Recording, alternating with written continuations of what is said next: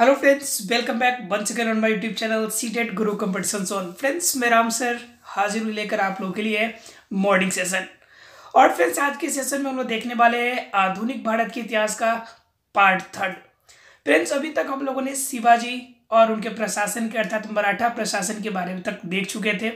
अब इसके आगे की घटना देखनी है कि आगे का सिस्टम ये कैसे चलता है। फ्रेंड्स ये सेशन जो है आपका स्पेशली पीपीएससी जो स्टूडेंट जो भी स्टूडेंट आपके अपियर होना चाहते हैं उन स्टूडेंट के लिए काफ़ी ज़्यादा हेल्पफुल होगा, क्योंकि बीपीएससी में जो क्वेश्चंस पूछे जाते हैं, उसी को टारगेट करते हुए हमने आपका हाफ़ एंड एटीन सेंचुरी से लेकर और आपके जहाँ तक आपकी मध्यकाल, आपका आधुनिक भारत का घटना जाती है, अर्थात कि आज़ादी की लड़ाई तक की सभी बातों को हमने इस पार्ट में आपका शामिल किया है। इसलिए फ्रेंड्स आप कंटिन्यू बने। हम आपको ये आठ से दस सेशन में कंप्लीट आधुनिक भारत की कंप्लीट पॉइंट आपको क्लियर कर देंगे। आपका शॉर्ट के साथ साथ आपका वन लिनियर वे से हम करा रहे हैं ताकि आपको डायरेक्ट एग्ज़ाम में जो क्वेश्चंस पूछे जाते हैं, उस टाइप के क्वेश्चंस आपको मिलते जाएँगे। फ्रेंड्स के साथ में मैं ऑब्जेक्टिव सेशन भी ले आऊँगा आपके लिए आधुनिक भारत के इतिहास का, जो कि आपके लिए काफ़ी ज़्यादा हेल्पफुल होगा। बिना लेट किए हुए स्टार्ट करेंगे हम लोग फ्रेंड्स आज के कॉन्टेंट्स की तरफ़। और आज के कॉन्टेंट्स की अगर बात करें फ्रेंड्स तो आज का जो कॉन्टेंट्स है हमारा, वो कॉन्टेंट्स फ्रेंड्स वो है मराठा के अधीन पेशवा। ठीक है? और शिवाजी के उत्तराधिकारी।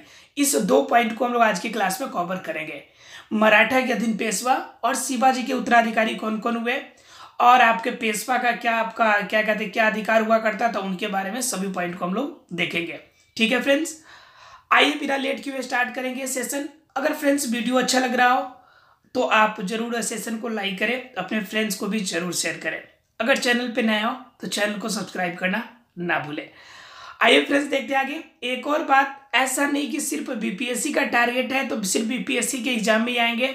जो भी स्टूडेंट बिहार दरोगा या फिर अदर किसी एग्ज़ाम में बैठना चाहते हैं, उनके लिए काफ़ी ज़्यादा हेल्पफुल रहने वाला है। क्योंकि किसी भी एग्ज़ाम में सामान्य रूप से आधुनिक भारत से क्वेश्चन पूछे जाते हैं। एक आध क्वेश्चन जो होते हैं आपके यहाँ तक कि यूपीएससी के आपके प्री लेवल में भी इसी पार्ट से क्वेश्चन होते हैं। ठीक है? इसलिए इन सभी एग्ज़ाम्स को हमने कवर अप करते हुए माइंड करते हुए, सभी को कवर अप करते हुए आपके लिए सेशन बनाया है। और ये आपके लिए काफ़ी ज़्यादा हेल्पफुल भी होगा। देखते हैं फ्रेंड्स फ़र्स्ट पॉइंट क्या कहते हैं हमारा? मराठा के अधीन पेशवा। फ्रेंड्स इसके अंतर्गत क्या जानना है कि पेशवा जो होता है, पेशवा जो पद था, जो कि मंत्री का पद था, ये किस रूप में मराठा शासन में, प्रशासन में अपना रोल करता था, इनके बारे में जानना है। तो फ्रेंड्स ये कहता है कि मराठा एक अत्यधिक लड़ाकू और हिंसक जाति था। हमने बताया था आपको शिवाजी जी समय अपने जब चरमोत्कर्ष पे हुआ, जब उनके पिताजी थे शाहजी भोसले, जब वह एक अपने आप को एक प्रशासक के रूप में आगे निखारने की कोशिश किए, तब जाकर एक मराठा जाति का, एक लड़ाकू जाति का उदय हुआ, जिसे मराठा के नाम से जाना जाने लगा। तो फ्रेंड्स कह रहा है कि मराठा एक अत्यधिक लड़ाकू और हिंसक जाति था, जिसने दक्कन के क्षेत्र में शक्तिशाली संघ की स्थापना की। आपको बताया था कि पुणे से लेकर कर्नाटका, केरला तक इनकी पूरी अपनी पकड़ थी, इस वजह से इन क्षेत्रों को दक्कन का क्षेत्र कहा जाता था। ठीक है, मुगल शासक औरंगज़ेब की मृत्यु के बाद वे राजनीति और सत्ता के केंद्र में आ गए थे। आपको बताया था कि औरंगज़ेब की जब मृत्यु हुई थी तो औरंगज़ेब के तीन पुत्र थे, तीनों पुत्र आपस में लड़ पड़े, जिनके दो मृत्यु दो पुत्रों की, आपकी मृत्यु कर दिया, हत्या कर दी गई और मुअज्जम जो था वह हेड बन गया। फिर उसके बाद उनके पुत्र चार हुए, फिर आपस में लड़े, फिर उनमें से एक ने तीन की हत्या कर दी। तो इस तरह से उनके बीच में आपसी टकराव की वजह से उनकी सत्ता आपकी अस्त व्यस्त होने लगी। उसी समय में आपके मराठा ने अपना सर उठाया और मराठा ने अपनी एक पहुँच अलग एक पैठ बना ली। राइट फ्रेंड्स उसके बाद कह रहा स्थानीय नेता ने शिवाजी से शिवाजी ने सोलह में स्वतंत्र मराठा राज्य की स्थापना की। अर्थात हमने बताया था कि राज्याभिषेक किया सोलह में और हिंदू धर्म रक्षक के रूप में वह आगे निखर कर आए। ठीक है फ्रेंड्स, उन्होंने दो प्रकार की कर स्टार्ट करी थी, एक चौथ और दूसरा कौन? ठीक है, आपका एक क्या कहते सरदस। ठीक है, जिसमें क्या था कि आपका एक बट्टा दसवा हिस्सा आपका कुल आय का लेना होता था, ठीक है? और एक था आपका कुल अनाज के उत्पादन का एक बट्टा चौथा हिस्सा। क्लियर है फ्रेंड्स तो क्या हुआ कि सोलह में स्थापना किया? उनकी प्रशासनिक प्रणाली हिंदू मुस्लिम संस्थाओं की मिश्रण में थी। ऐसा नहीं था कि वो मुस्लिम का कट्टर दुश्मन थे ठीक है? लेकिन हिंदुओं का आपका प्रबल, आपका समर्थक ज़रूर थे। पेशवा राज की स्थापना के बाद मराठों की प्रशासनिक प्रणाली में कई परिवर्तन किया गया ठीक है? पेशवा पद का जब आगमन हुआ तो उसके बाद काफ़ी ज़्यादा परिवर्तन हुए। क्या क्या परिवर्तन हुए? प्रशासनिक क्षेत्र में उसे जरा देखिए आप। ठीक है? मराठा संघ। मराठा संघ के उदय में राजा राम द्वारा मराठा सरदारों की जागीर की प्रदान के कदम का महत्वपूर्ण योगदान था। ठीक है? मराठा संघ के उदय में राजा राम द्वारा मराठा सरदारों को जागीरें प्रदान करने के कदम में महत्वपूर्ण योगदान था। जो आपके जागीर होते थे। जागीर का मतलब होता है बड़े बड़े जमींदारों की जो भाई संपत्ति हुआ करती थी, उसे जागीर के नाम से जाना जाता था।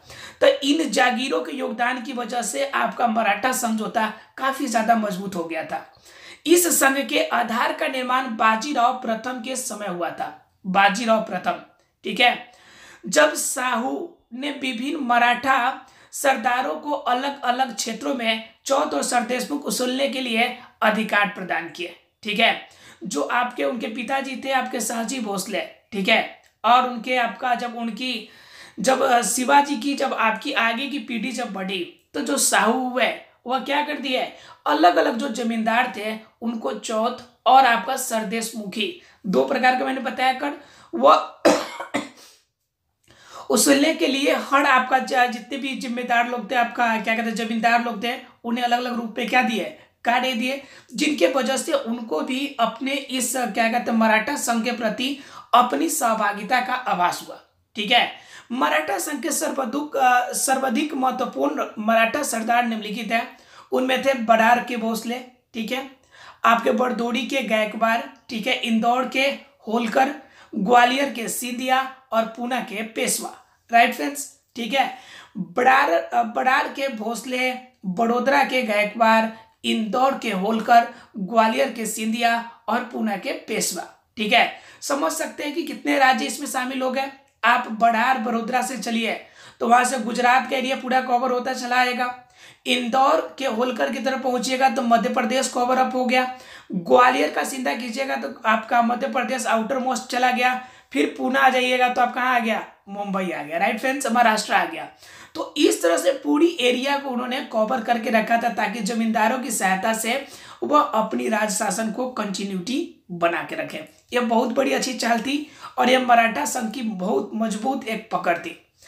आगे की बात करें फ्रेंड्स तो मराठा के अधीन पेशवा की अगर बात करें तो पेशवा मराठों के प्रति वफादार मंत्री थे, ठीक है? पेशवा जो होते थे, मराठों के प्रति वफादार मंत्री थे। जिनकी नियुक्ति कौन करते थे? राजा को विभिन्न प्रशासनिक एवं राजनीतिक मुद्दों पर सलाह देने के लिए की गई थी। ठीक है? पेशवा वास्तव में जो पद था वह मंत्री पद था। ठीक है? और वह किसके द्वारा आपका चूज़ किया जाता था? वह राजा के द्वारा चूज़ किया जाता था। ताकि राजा को समय समय पर उनके उपयुक्त सलाहों को, अर्थात प्रशासनिक और राजनीतिक क्षेत्रों में सलाह को देने का कार्य करे। ठीक है? कुल सात पेशवाओं में सर्वाधिक योग्य पेशवा बाजीराव प्रथम थे। ठीक है? पेशवा बाजीराव, आपने सुना होगा 1857 में भी लीड रोल किया था इन्होंने। तो कह रहा है, कुल सात पेशवाओं में सर्वाधिक योग्य कौन थे? पेशवा बाजीराव प्रथम जिनके दरबार में तानाजी थे। राइट फ्रेंड्स जिनके सेनापति कौन थे? तानाजी। ठीक है? देखते फ्रेंड्स आगे तो क्या कहता है आपका? अब देख लीजिए, बालाजी विश्वनाथन सभी के बारे में चार पाँच जो इंपॉर्टेंट है, उनके बारे में हम आपको बता देते हैं। हालाँकि सात थे, लेकिन चार पाँच जो मोस्ट इंपॉर्टेंट थे, उनके बारे में हम चर्चा कर देते हैं। पहला नंबर, बालाजी विश्वनाथ, ठीक है? जिनका कार्यकाल रहा सत्रह सौ तेरह से लेकर सत्रह सौ इक्कीस तक। सत्रह सौ तेरह से लेकर सत्रह तक। समझ सकते लगभग नौ साल? वह सत्रह ईस्वी में साहू जी द्वारा पेशवा के रूप में नियुक्त किया गया था, ठीक है? ताकि साम्राज्य को संगठित किया जा सके। उसने लगभग सभी सरदार को जीत हासिल कर मराठा साम्राज्य का विस्तार किया और पेशवा के पद को और अत्यधिक महत्वपूर्ण बना दिया। ठीक है? बालाजी विश्वनाथ जो 1713 में से लेकर 1721 तक रहे वह साहू जी के द्वारा पेशवा पद पर नियुक्त किए गए थे और उनके कार्यकाल में और अधिक इनका विकास हुआ। राइट फ्रेंड्स उसके बाद आता है आपका बाजीराव प्रथम, अर्थात कि पेशवा बाजीराव प्रथम। इनका कार्यकाल 1721 से लेकर 1740 तक रहा। ठीक है? वह बालाजी विश्वनाथ का बड़ा पुत्र था, ठीक है? जो आपका बालाजी विश्वनाथ थे, जो कि आपके साहू जी द्वारा आपका नियुक्त किए गए थे 1713 से 1721 तक थे, अब उन्हीं का पुत्र थे आपका बाजीराव प्रथम ठीक है? जो क्या हुए? वह बालाजी विश्वनाथ का बड़ा पुत्र थे और 20 वर्ष की आयु में ही अपने पिता के बाद पेशवा का पद ग्रहण कर लिया, ठीक है? समझ सकते हैं कितना ज़्यादा जिम्मेवार व्यक्ति थे वो? उसके बाद की अगर बात करें तो वह शिवाजी के बाद गुड़ीला तकनीक का सबसे बड़ा प्रतिपादक था, ठीक है? गुड़ीला एक स्पेशल तकनीक हुआ करती थी, जिसमें घुड़सवार के माध्यम से आपकी जो क्या कहते हैं, लड़ाई करने की एक नई मेथड बनाई थी, ठीक है, शिवाजी ने? तो कहते हैं शिवाजी के बाद जो गुरीला तकनीक को सबसे अधिक प्रतिपादन किया किसने किया था? बाजीराव प्रथम ने राइट फ्रेंड्स उसके बाद की अगर बात करें तो कहता है हमारा बालाजी बाजीराव, ठीक है? बालाजी बाजीराव वह नाना साहब के नाम से भी जाना जाते हैं। याद होगा आप लोग को नाना साहब, जो अपने पिता बाजीराव के मृत्यु के बाद पेशवा बना था, ठीक है? सबसे ऊपर विश्वनाथ बालाजी, उनके बड़े पुत्र थे आपके बाजीराव प्रथम, और बाजीराव के पुत्र थे बालाजी बाजीराव। राइट फ्रेंड्स क्या हुआ कि इनकी जब बालाजी आपका सॉरी बाजीराव प्रथम की मृत्यु हुई तो बालाजी बाजीराव उनके जगह पर पेशवा बने, ठीक है? पानीपत की तृतीय युद्ध में अपने पुत्र विश्वास राव और चचेरे भाई सदाशिव राव की मृत्यु के सदमे के कारण सत्रह सौ इकसठ ईस्वी में उनकी क्या हो गई? मृत्यु हो गई। किनका? बालाजी बाजीराव को। ठीक है? उनके बाद आपका पद पे पद किसने संभाला? उसके बाद संभाला माधव राव प्रथम ने। ठीक है? जो कि सत्रह से लेकर सत्रह तक आपके पेशवा का पद संभाले रहे।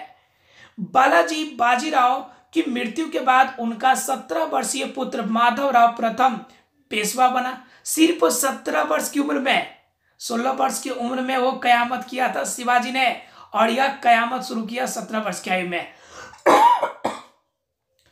पेशवा परिवार का सबसे बड़ा सदस्य रघुनाथ राव का अल्प वयस्क पेशवा का संरक्षण बनाया गया। माधव राव प्रथम की मृत्यु के बाद पेशवा पद का महत्व कम हो गया, ठीक है? और माधव राव प्रथम थे, वहीं तक पेशवा पद की जो जिम्मेवारी थी, उतनी सहन शक्ति के साथ वो संभाल सके। इनके मृत्यु के बाद पेशवा पद का जो आपका जितना गरिमा थी, वो गरिमा धीरे धीरे क्या होने लगी फ्रेंड्स कम होने लगी। राइट फ्रेंड्स चलिए अगर आगे की बात करते हैं तो आगे क्या कहता है देखिए आप। आगे कहता है कि पेशवाओं की प्रशासन की पद्धति क्या थी, इनके बारे में जरा आप गौर कीजिए। राइट फ्रेंड्स ये क्या कहता है फ्रेंड्स? पूना के पूना में स्थित पेशवा सचिवालय हजूर दफ्तर कहलाता था। हजूर दफ्तर कहलाता था। पूना में स्थित पेशवा का सचिवालय था, ठीक है? और पेशवा का यह जो सचिवालय था, यह क्या कहलाता था? हुजूर दफ्तर के नाम से जाना जाता था। पेशवा काल में सामंत अपनी जागीरों के स्वतंत्र रूप से शासन करते थे। ठीक है? जब तक पेशवा काल था, उस समय तक जितने सामंत अर्थात के जमींदार थे, अपने जागीरों पर स्वतंत्र रूप से शासन कर सकते थे, उन्हें किसी भी प्रकार की कोई समस्या नहीं थी। ग्राम की, ग्राम सबसे छोटी इकाई थी जिनकी चर्चा हमने कर दिया था और इनके जो प्रमुख होते थे, उसे पाटिल या पटेल कहा जाता था, ठीक है? कुलकर्णी ग्रामीण दस्तावेजों की रख रखाव में उनकी मदद करता था। कुलकर्णी राइट फ्रेंड्स याद रखिएगा, ग्रामीण के दस्तावेजों का रख रखाव किनके किनके हिस्से में था? कुलकर्णी, यह पद काफ़ी ज़्यादा इंपॉर्टेंट है, याद रखेंगे। पतार नकदी और रोकर परीक्षण करता था। पैसे की जब करो कि रुकरा नकदी के रूप में हो तो कौन देख रेख करता था?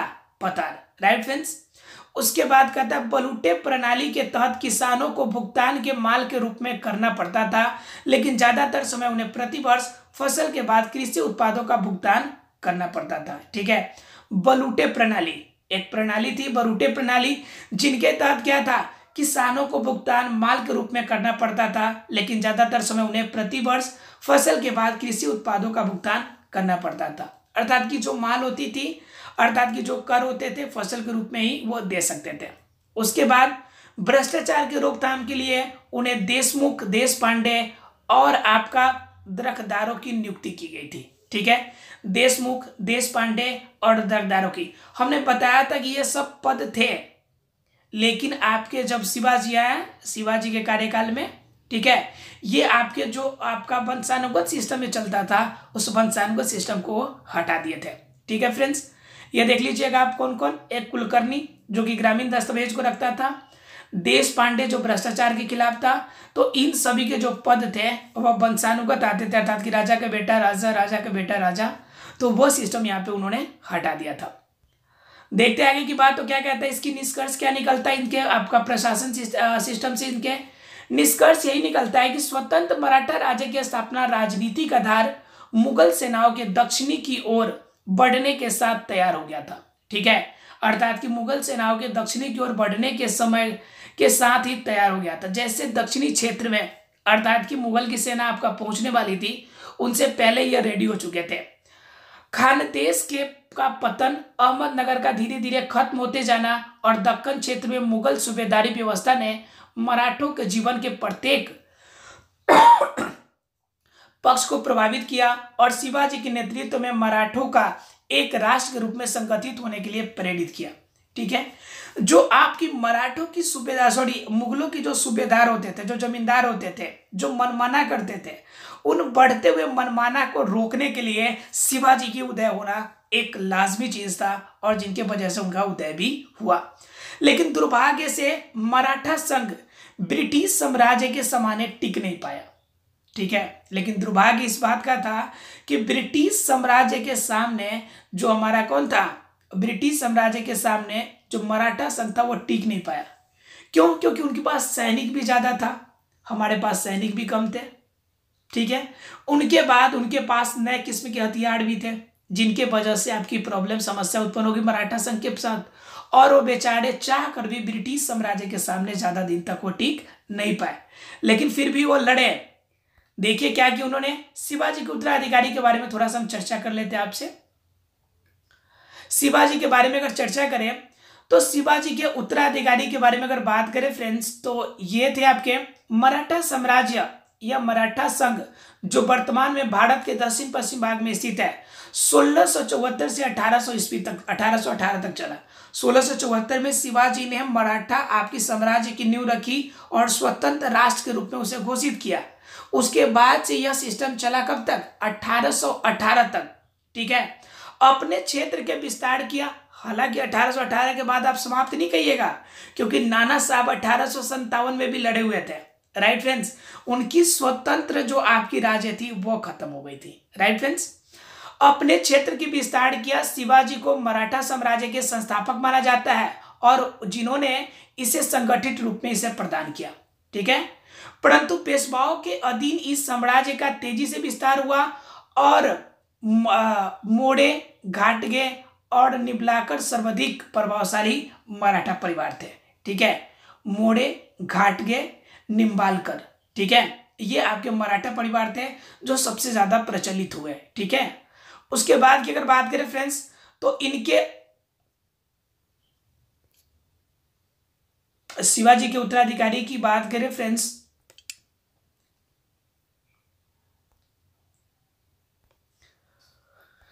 तो इनमें सबसे पहला जो उत्तराधिकारी आता है इनका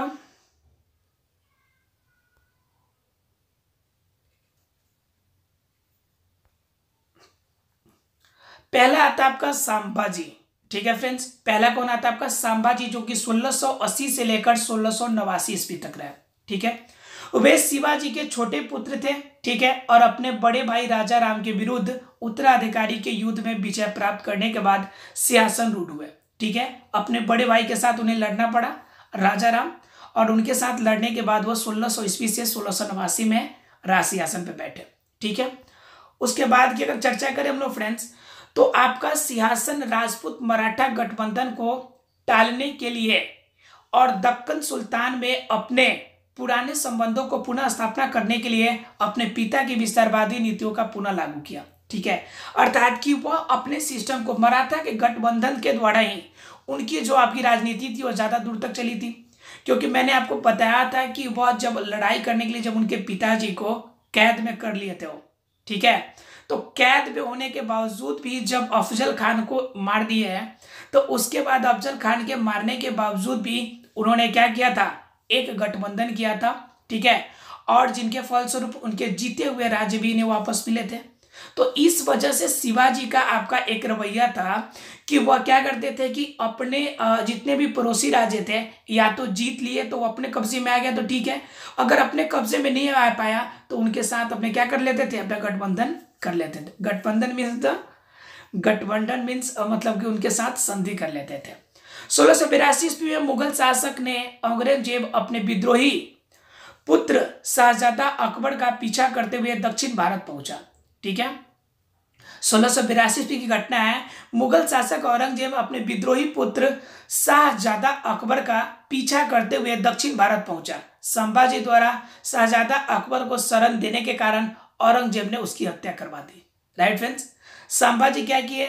उनको रख लिए, अपने शरण में रख लिए। उनके बेटे शाहजादा अकबर थे तो ठीक है? लेकिन जिन, जब शाहजादा अकबर को मालूम चला इनको औरंगज़ेब को तो औरंगज़ेब ने उनकी मृत्यु करवा दी।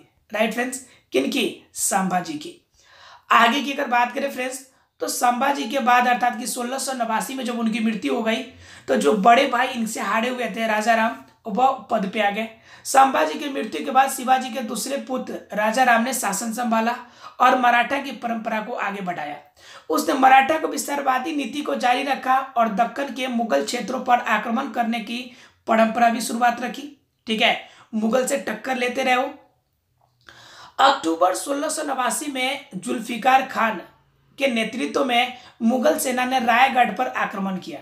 ठीक है, और संभाजी के पूरे परिवार जिसमें उनके पुत्र साहू भी शामिल थे, को बंदी बना लिया गया। ठीक है?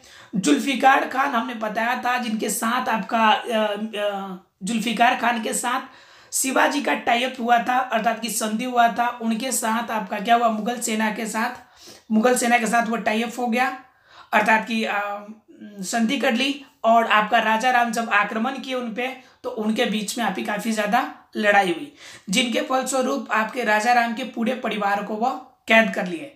जिन कैद में गए हुए थे, उनमें इनका छोटा पुत्र साहू भी शामिल था। सत्रह सौ ईस्वी में सताड़ा जो कि जिंजी के पतन के मराठा, के मराठों की राजधानी बन गई थी, में संभाजी की मृत्यु हो गई। ठीक है? अब बात क्या होती है? ध्यान दीजिएगा फ्रेंड्स कि यहाँ पे आपका जिंजी, जो कि आपका कर्नाटका का हिस्सा था, कर्नाटका और केरला का हिस्सा, इन पर आपका शिवाजी ने जो अपना कब्जा जमाया था, वहीं पे उनके पुत्र संभाजी की मृत्यु हो जाती है।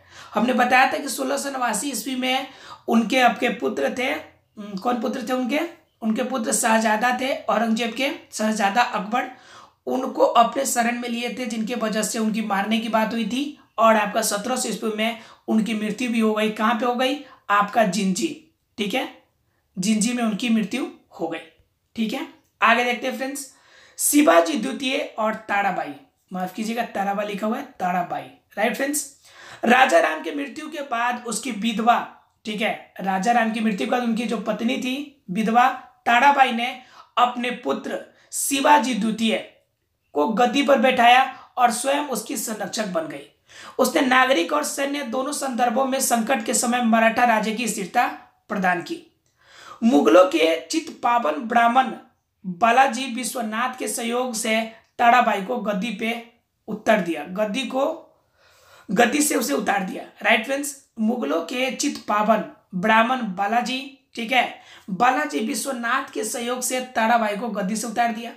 हालाँकि ताराबाई वहाँ के लिए अच्छी थी लेकिन उसके बावजूद भी मुगल के चढ़ाने की वजह से आपके बालाजी विश्वनाथन ने ताराबाई को गद्दी से उतार दिया।